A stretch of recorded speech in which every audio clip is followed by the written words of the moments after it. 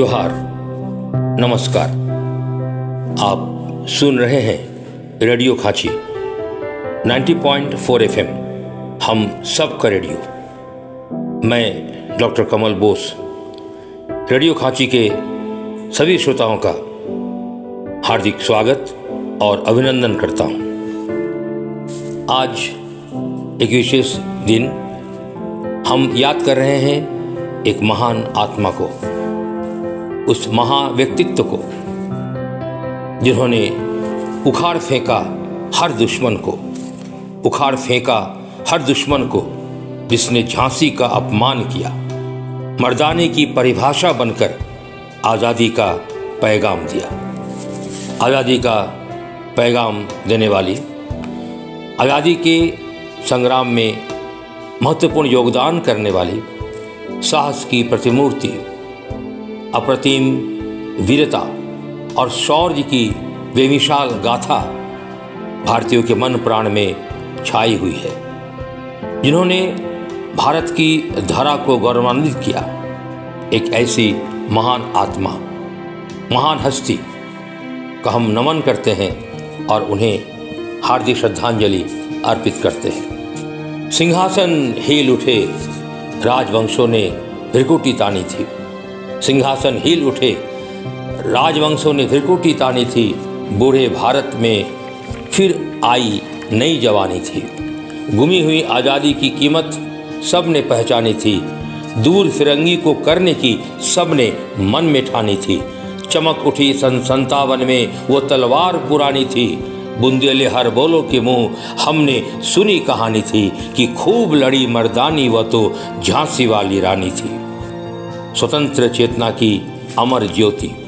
झांसी की रानी लक्ष्मीबाई, के उज्जवल स्वाभिमानी और तेजोदीप्त व्यक्तित्व के प्रति अर्पित श्रद्धांजलि है ये पंक्तियाँ। आज उनकी पुण्यतिथि। सच ही कहा गया है कि जिस समाज में संघर्ष नहीं होता, वहाँ उम्मीदों और सपनों की जगह भी सिमट जाती है। सचमुच, जीना केवल सांस लेना नहीं है बल्कि आज़ादी के उन्मुक्त गगन तले स्वाभिमान की ज़मीन पर अपनी जड़ों और भूमि को याद करना भी ज़रूरी है।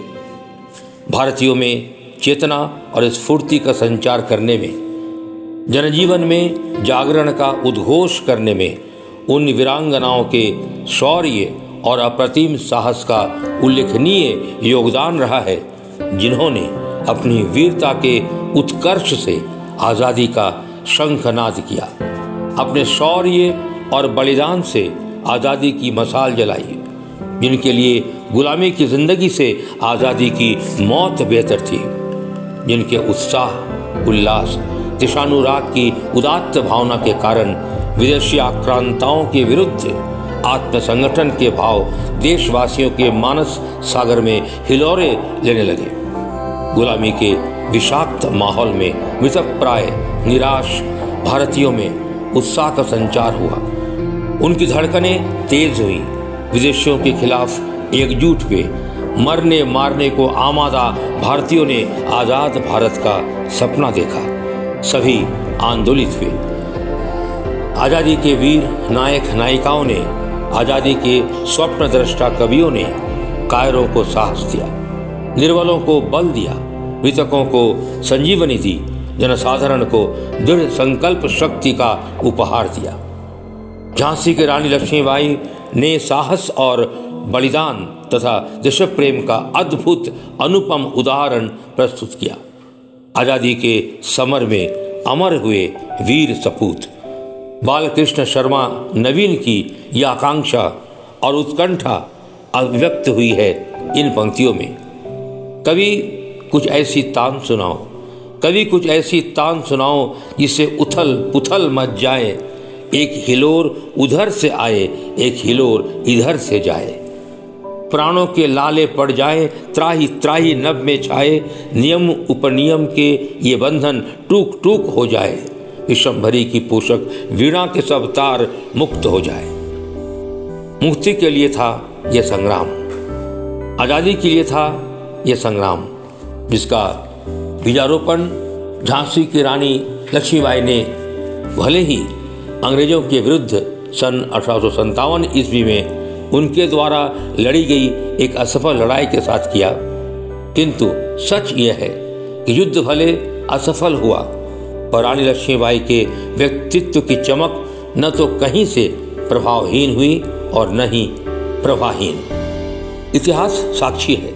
कि सन अठारह सौ सत्तावन ईस्वी में देश की स्वतंत्रता के लिए लड़ी गई यह पहली लड़ाई थी, जिसे हिंदुओं और मुसलमानों ने मिलकर लड़ी थी। अंग्रेज़ों की कठोर शासन नीति एवं बढ़ते सत्ता लोभ से देश के विभिन्न भागों में छोटे छोटे रजवाड़ों के बीच लंबे समय से विद्रोह की आग सुलग रही थी। मुगल राजवंश का अंतिम बादशाह बहादुर शाह ज़फ़र प्रभावहीन हो गया था। निरंकुश अंग्रेज़ी हुकूमत सत्ता लिप्सा से चूर छोटे छोटे राज्यों को अपने अधीन करने को आमादा थे। झांसी नरेश की मृत्यु के बाद अंग्रेज़ों ने झांसी पर कब्जा जमाना चाहा। झांसी नरेश की अपनी कोई संतान नहीं थी और गोद ली हुई संतान को अंग्रेज़ उत्तराधिकारी मानने के पक्ष में नहीं थे। पर रानी की दृढ़ता तो कुछ और ही चाह रही थी।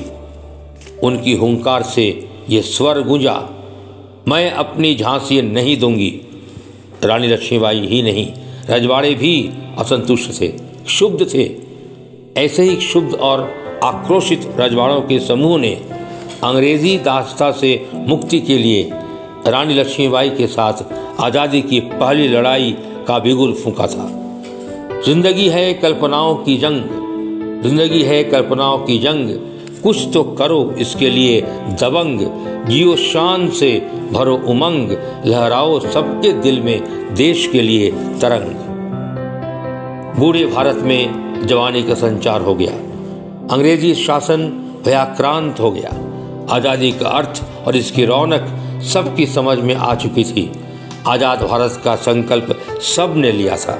इस युद्ध में झांसी की रानी ने जैसा शौर्य और युद्ध कौशल दिखाया, उस यशोगान से प्रभावित होकर कवित्री सुभद्रा कुमारी चौहान ने झांसी की रानी को मर्दानी की संज्ञा दी। पिता की अकेली संतान लक्ष्मीबाई कानपुर के नाना की मुंहबोली बहन थी।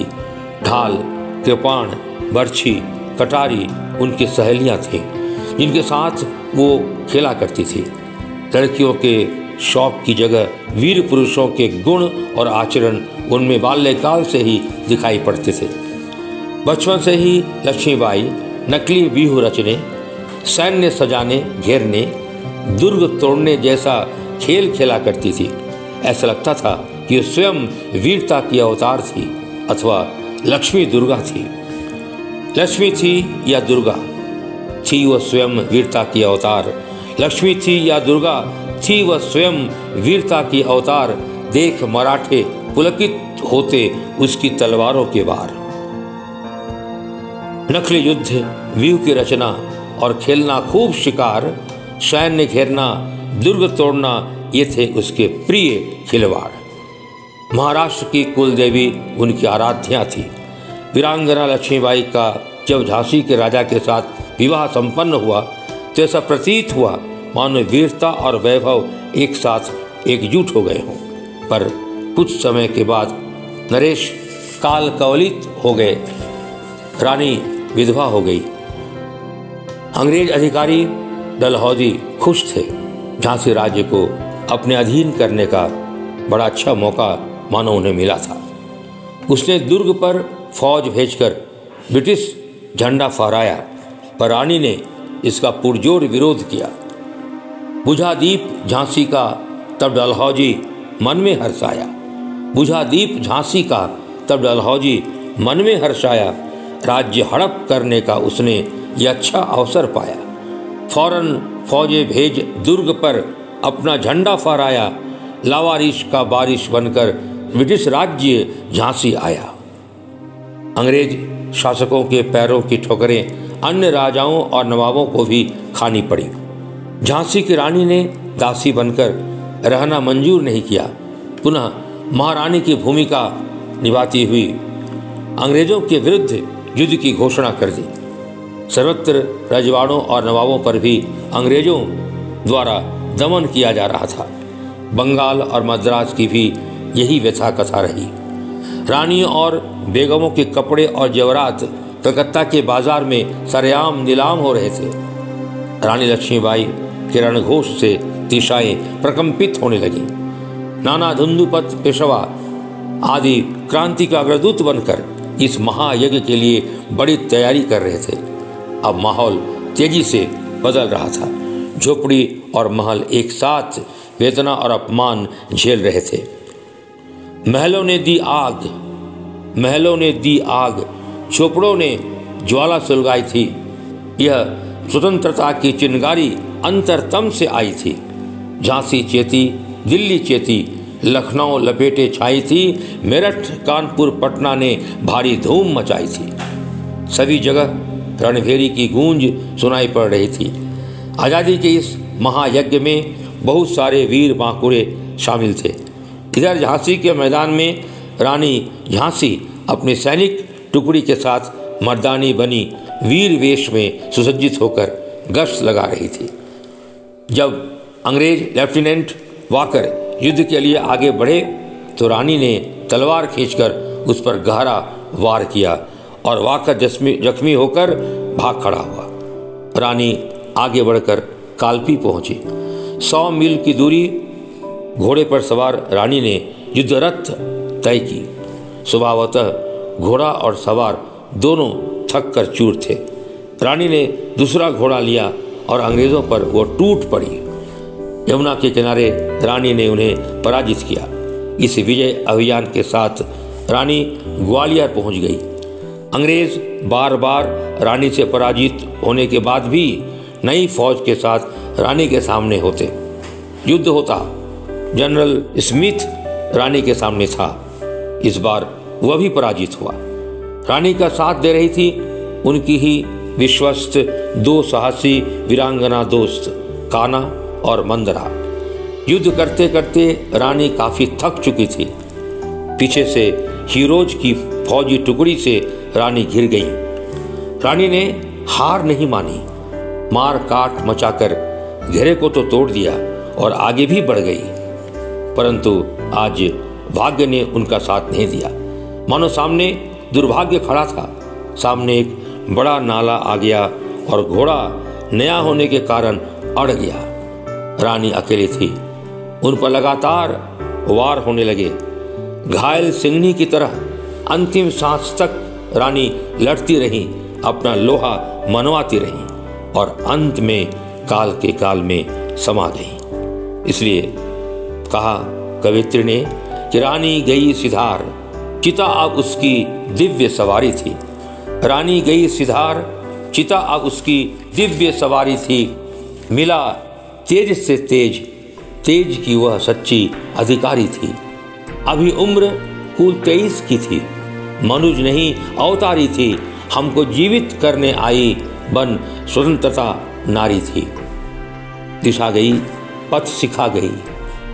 हमको जो सीख सिखानी थी, खूब लड़ी मर्दानी, वह तो झांसी वाली रानी थी।